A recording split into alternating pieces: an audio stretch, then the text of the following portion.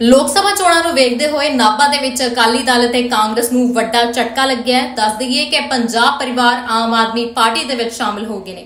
ਹਲਕਾ ਵਿਧਾਇਕ ਗੁਰਦੇਵ ਸਿੰਘ ਦੇ ਮਾਨ ਦੇ ਵੱਲੋਂ ਇਹਨਾਂ ਪਰਿਵਾਰਾਂ ਨੂੰ ਹਾਰ ਪਾ ਕੇ ਤੇ ਮੂੰਹ ਮਿੱਠਾ ਕਰਵਾ ਕੇ ਪਾਰਟੀ ਦੇ ਵਿੱਚ ਸ਼ਾਮਿਲ ਕਰਵਾਇਆ ਗਿਆ ਹੈ। ਇਸ ਮੌਕੇ ਵਿਧਾਇਕ ਦੇਵ ਮਾਨ ਦਾ ਕਹਿਣਾ ਹੈ ਕਿ ਇਹਨਾਂ ਪਰਿਵਾਰਾਂ ਦੇ ਆਮ ਆਦਮੀ ਪਾਰਟੀ ਦੇ ਵਿੱਚ ਸ਼ਾਮਿਲ ਹੋਣ ਦੇ ਨਾਲ ਲੋਕ ਸਭਾ ਦੇ ਉਮੀਦਵਾਰ ਡਾਕਟਰ ਬਲਬੀਰ ਸਿੰਘ ਨੂੰ ਵੱਡਾ ਬਲ ਮਿਲੇਗਾ। ਉੱਥੇ ਵਿਧਾਇਕ ਗੁਰਦੇਵ ਸਿੰਘ ਦੇ ਮਾਨ ਦਾ ਕਹਿਣਾ ਹੈ ਕਿ ਕਾਂਗਰਸ ਅਤੇ ਅਕਾਲੀ ਦਲ ਦੇ 50 ਦੇ ਕਰੀਬ ਪਰਿਵਾਰ ਅੱਜ ਆਮ ਆਦਮੀ ਪਾਰਟੀ ਦੇ ਵਿੱਚ ਸ਼ਾਮਲ ਹੋਏ ਨੇ, ਜਿਸ ਦੇ ਵਿੱਚ ਅਕਾਲੀ ਦਲ ਅਤੇ ਕਾਂਗਰਸ ਦੇ ਅਹੁਦੇਦਾਰ ਵੀ ਸ਼ਾਮਿਲ ਨੇ ਤੇ ਇਹਨਾਂ ਨੂੰ ਬਣਦਾ ਮਾਨ ਸਤਿਕਾਰ ਵੀ ਦਿੱਤਾ ਜਾਏਗਾ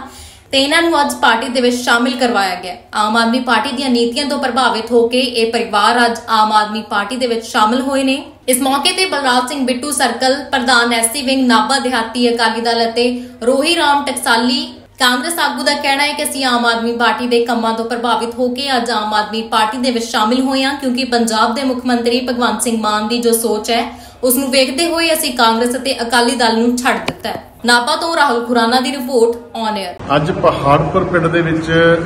ਬਲਰਾਜ ਸਿੰਘ ਜਿਹੜੇ ਕਿ ਐਸਸੀ ਦੇ ਸਰਕਲ ਪ੍ਰਧਾਨ ਨੇ ਅਕਾਲੀ ਦਲ ਦੇ, ਉਹ ਆਮ ਆਦਮੀ ਪਾਰਟੀ ਸ਼ਾਮਲ ਹੋਇਆ ਮੈਂ ਇਹਨਾਂ ਨੂੰ ਦਿਲ ਦੀ ਤੋਂ ਬਹੁਤ-ਬਹੁਤ ਧੰਨਵਾਦ ਔਰ ਜੀ ਆਇਆਂ ਕਹਿਣਾ। ਸਾਡੇ ਰੋਹੀ ਰਾਮ ਜੀ ਜਿਹੜੇ ਕਿ ਕਾਂਗਰਸ ਪਾਰਟੀ ਦੇ ਵਿੱਚੋਂ ਆਏ ਨੇ ਔਰ ਸਿਰਕਾ ਡਾਕੂ ਨੇ ਜੀ ਐਸਸੀ ਸਮਾਜ ਦੇ ਤੇ ਇਹਨਾਂ ਦੇ ਨਾਲ ਸਾਰੀ ਟੀਮ ਜਿਹੜੀ ਹੈ ਅਕਾਲੀ ਦਲ ਤੇ ਕਾਂਗਰਸ ਦੋਨਾਂ ਪਾਰਟੀਆਂ ਦੇ ਵਿੱਚੋਂ ਜਿਹੜੇ ਸਾਡੇ ਆ ਨੌਜਵਾਨ ਭਰਾ ਬੈਠੇ ਨੇ ਸਾਰੇ ਆਮ ਆਦਮੀ ਪਾਰਟੀ ਸ਼ਾਮਲ ਹੋਇਆ ਮੈਂ ਸਾਰਿਆਂ ਦਾ ਦਿਲ ਦੀ ਗਹਿਰਾਈਆਂ ਤੋਂ ਬਹੁਤ-ਬਹੁਤ ਸਵਾਗਤ ਕਰਦਾ ਸਾਹਿਬ ਭਗਵੰਤ ਮਾਨ ਸਾਹਿਬ ਦੀ ਸਰਕਾਰ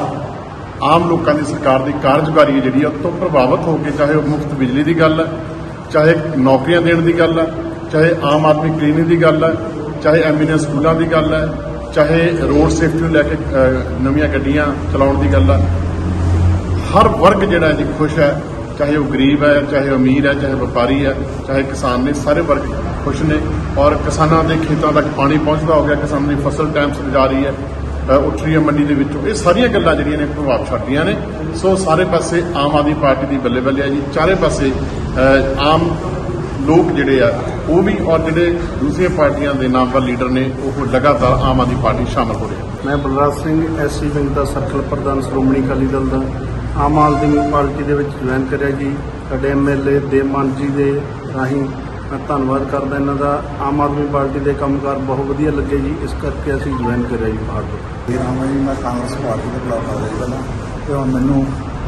ਆਪ ਵਾਲਿਆਂ ਦੇ ਕੰਮ ਵਧੀਆ ਲੱਗੇ ਇਸ ਕਰਕੇ ਮੈਂ ਕਾਂਗਰਸ ਤੋਂ ਆਪ ਆਇਆ